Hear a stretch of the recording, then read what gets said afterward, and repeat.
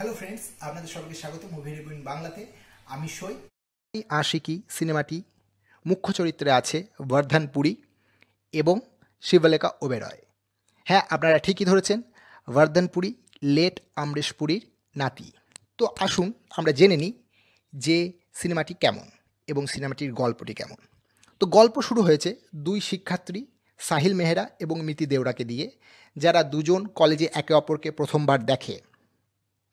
সুন্দর মিতিকে দেখে সাহিল নিজেকে আর আটকাতে না পেরে তার প্রেম নিবেদন করে। অপরদিকে মিতিরও সাহিলকে ভালো লাগে। কিন্তু মিতি সাহিলের প্রেম নয়, তার অর্থকে ভালো লাগে। এরপর মিতির দুবার প্রতারণা করার পরেও সাহিল তাকে মাপ করে দেয়। কিন্তু কলেজ পরীক্ষার সময় তার প্রতারণা সাহিল সবার সামনে এনে তুলে ধরে।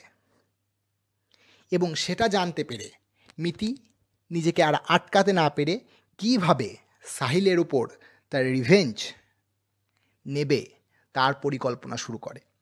এবং এই রিভেঞ্জ এতটাই কুড়ো যে সাহিলকে মেন্টাল অ্যাসাইলেমে পৌঁছে দেয়। এই হলো গল্পের ফার্স্ট পার্ট এবং সেকেন্ড পার্টে দেখানো হয়েছে তিন বছরের একটা লিপ এবং এই তিন বছরে সাহিল মেন্টাল অ্যাসাইলেমে থেকে কি করে তার প্রতিশোধ নিতে পারে? বিভিন্ন টুইস্ট এবং টার্নের মাধ্যমে দেখানো হয়েছে। এবং বলে রাখা ভালো, এখানে সাহিলের এবং মিতির জীবনের কিছু রহস্য উন্মোচিত হয়েছে। সেগুলো আপনারা সেকেন্ড পার্টে দেখতে পাবেন। এবার বলা যাক যে সিনেমাটির ডিরেকশনের কথা। এখানে চেরাগ বলে নতুন একজন ডিরেকশন করেছেন এই সিনেমাটির চেরাগ রূপারেল। তো ওনার স্টোরি স্টেলিং খুবই একটা সামান্য গল্পকে ইন্টারেস্টিং মোড়কে পেশ করা বাহবা বা প্রশংসার যোগ্য তিনি অনেক কাজ করেছেন, খেটেছেন, এটা আপনারা পর্দাতে দেখতে পাবেন। তো ওনার কাজ একদম ঠিকঠাক। এবার জেনে নিই যে লিড অ্যাক্টর বর্ধনপুরী এবং শিবলেখা ওবেরয় কেমন কাজ করেছে বর্ধনপুরী এমন এক ব্যক্তির চরিত্র অভিনয় করেছেন যিনি সাহিলের ভূমিকায় নির্দোষ মনে মনে ক্ষোভ রয়েছে তার বান্ধবীকে খুব ভালোবাসেন এবং সৎ থাকা সত্ত্বেও তার উপর প্রতিশোধ গ্রহণ করেছেন অত্যন্ত দুষ্ট পদ্ধতিতে একই সাথে শিবলেখা ওবেরয় মিথির চরিত্রে পুরোপুরি ফিট করেন তার অভিনয় মধ্যে কোনো খামতি চোখে আসে না। তো দুজনেই নবাগত, অথচ আপনারা একটুকুও বোর হবেন না। তারা তাদের অভিনয় দক্ষতায় প্রমাণ করে দিয়েছেন যে তারা নবাগত হলেও অভিনয়টা তাদের মধ্যে আছে। পার্শ্ব চরিত্রে অন্যান্য ছোট ছোট ক্যারেক্টারে যারা অভিনয় করেছেন, যেমন রুসলান, মমতাজ এবং জেসি লিভার, তারা ঠিকঠাক। ছবিটির সিনেমাটোগ্রাফি খুবই ভালো। স্ক্রিন প্লে সুন্দর লেখা হয়েছে। যদিও ফার্স্ট হাফটা একটু স্লো যখন লাভ স্টোরি বিল্ড আপ করছে, তখন একটু স্লো হয়ে যায়। তারপরে সিনেমা সেকেন্ড হাফ থেকে গতি নিতে শুরু করে।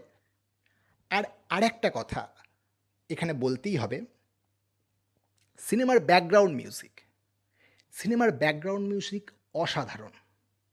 আপনি যদি একটু মন দিয়ে সিনেমাটি দেখেন, যেহেতু এটা সাইকো থ্রিলার একটা রিভেঞ্জ লাভ স্টোরি তার জন্য এর ব্যাকগ্রাউন্ড স্কোরের অবদান অনস্বীকার্য। এক্ষেত্রে তার ব্যতিক্রম নয়।